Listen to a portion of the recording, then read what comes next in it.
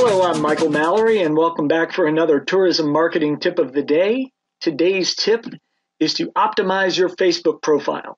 And this counts for all of your social media, not just Facebook, but make sure it actually says something about your business and that it is keyword optimized. Don't just say you have a hotel in Manchester. Say you are the Marquis Hotel catering to Manchester United fans or something equally succinct and direct.